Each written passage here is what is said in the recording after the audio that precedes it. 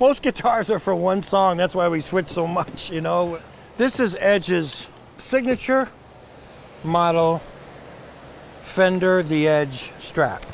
He loves this model. There's four of these in the show. 52 years I've been doing this since I was 17.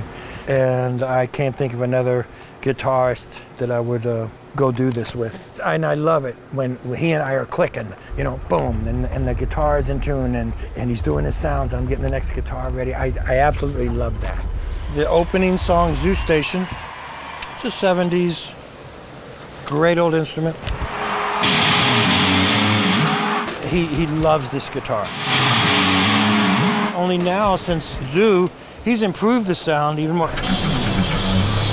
You know, he's improved that like, and it took days. I mean, just a guitar tech getting to represent the this this guitar and these sounds. And the, again, the chorus sound. You hear it?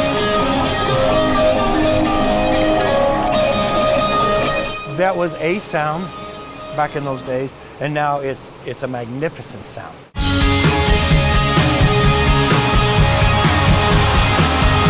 It's rough because he wears a headset, right?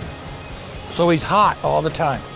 In the old days, if he had a problem, or if things were good, you could just say off the microphone, you know, do this or do that, please, you know? And now he can't. He's hot, so he can't tell me that there's a problem. So you don't find out till about the encore.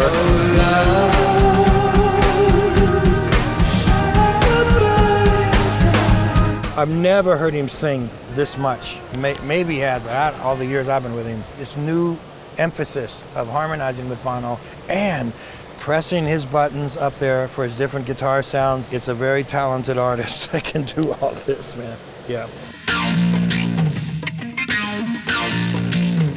So this is his 1967 Rickenbacker 12 string.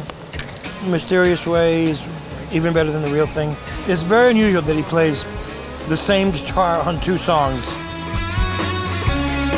Edge won't stop perfection. One venue, all his sounds are over there, so he can just keep perfecting as he listens back after the shows. And uh, it's amazing that he has that much passion, you know, still. Instead of, well, that's what we've had for the last two or three tours, that sound. Mm -mm. He, he, he keeps trying to perfect it, and it's just, it's just amazing to watch him work, you know, it really is. Plays Atomic City with this 1966 Epiphone Casino. Beautiful guitar. I got this for him. This was made famous by the Beatles, you know, Lennon and Harrison. Before it's plugged in, it's got to be acoustically pleasing to him. Before you plug it in, you know, I mean, it, it's so cool. So he doesn't rely on the electronics.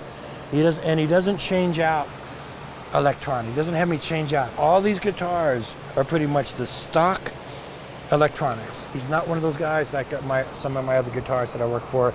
Let's put a different pickup model in the uh, neck or in the bridge, and let's see what that's. Edge, Edge doesn't do that. It works. He loves the sound of it, and that's that. Hear the high end? It's the first tour ever with him that you don't see any amplifiers down here. No amplifiers. Now those used to be so challenging, they'd be so loud on all tours that I had trouble tuning because the volume comes into the hollow body guitars and, and your tuners are going, what? So he discovered these amp emulation pedals, which he's talked about, and, and they're consistent and they're just a pedal. And uh, he loves them. And you know, Edge, you, you wouldn't accept almost. So no amplifiers. So it's kind of cool. If I go out there after a show while I'm turning his stuff off, there's always six, eight, just people in tears.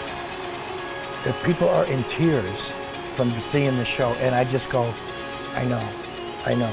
And it's one of the most wonderful things to experience. They see these people, they, I mean, they're followers of this band, so if they've, you know, they've, they've followed the tours, they've seen these songs, they've heard these songs with this band before, not like this place.